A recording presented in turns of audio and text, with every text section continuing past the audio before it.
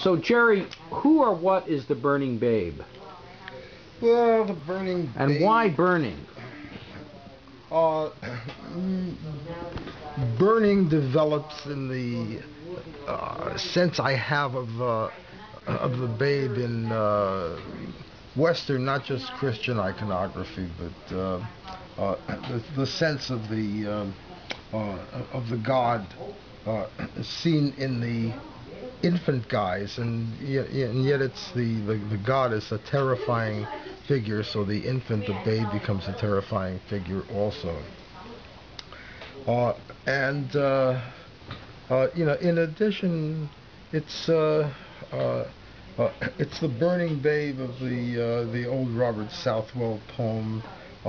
It's the it's the babe crucified. It's the babe burnt in uh, in true Holocaust, which is a sacrifice, uh, you know, by fire. So there's all sorts of implications uh, that uh, that come from that. I think I was.